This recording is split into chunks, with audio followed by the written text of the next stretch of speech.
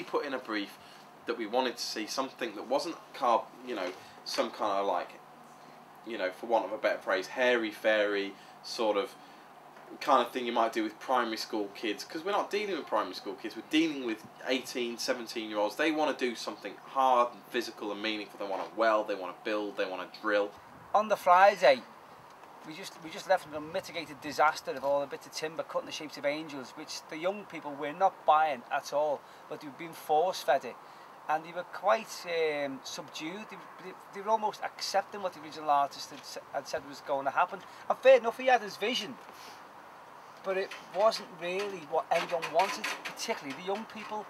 what what we had was a, an awful design that was getting made up as it went along, which basically involved a piece of wood stuck to the side of a thing getting painted, and the kids lo- lost interest. I expected to see something more like what, what was in the brief, which was uh, so, uh, you know by now in the project I should see a sculpture. Tomorrow, um, the sculptor's contract ends.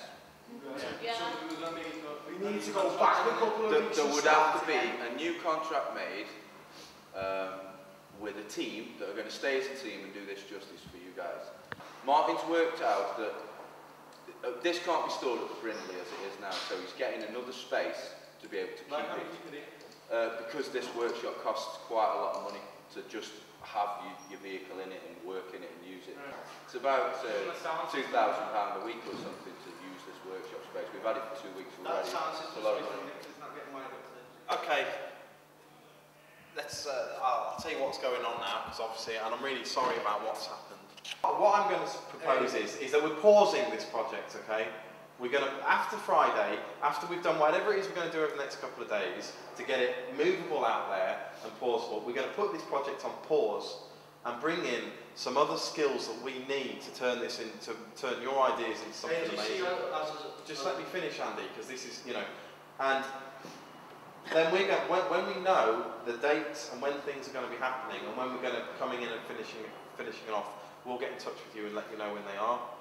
Okay, and then we'll be able, to, and then we'll have made sure that we're in a position to make something good and impressive that doesn't look like a bag of crappy nails. I care about what I'm doing, so the, the, the, the plan is just to keep pushing and going and going and going until something, until this thing is salvaged. And it's not just going to get salvaged, it's going to be taken to a level higher than it could have been before. We're going to do something that makes it worthwhile.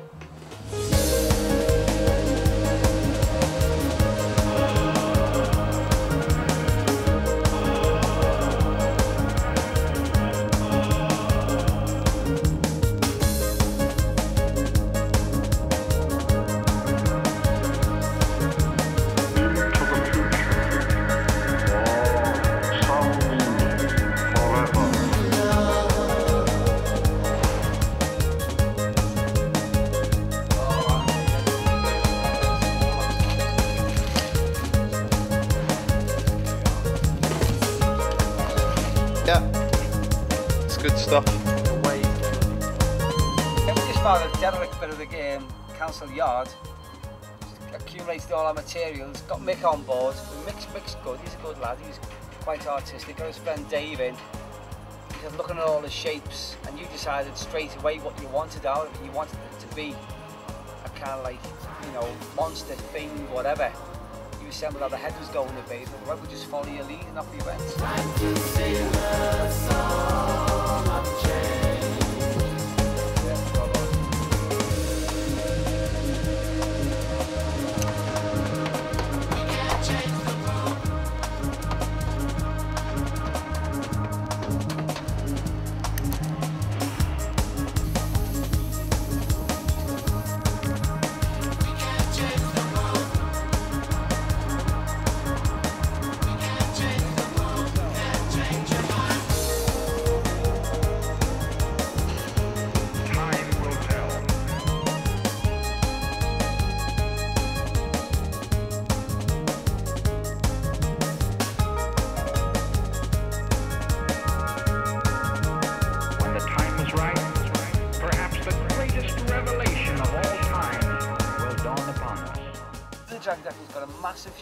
For one thing, it can be shown to a lot of people that, you know, you just go to a shop, you buy an electric kettle, you buy an iron, you expect these things just to be made for you. You just expect it to be done.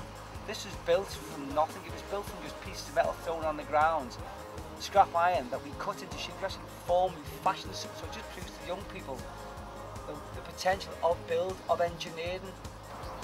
Because for all the materials we had left, made us this. Just, I mean, it's a very simple idea, but nonetheless, it's still explains to them how um, practical skills can be handed over via the arts.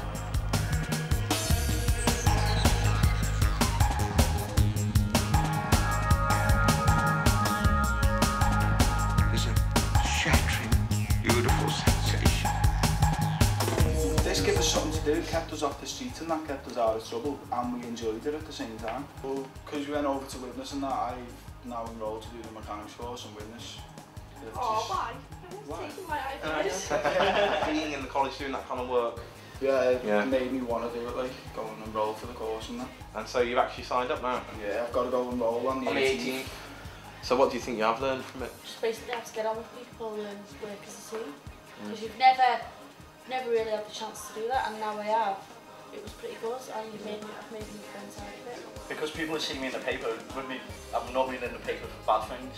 Right. But now it's something good and they're all like, no way, you can't believe in him for something good and it's not being for in you're in trouble or anything like that.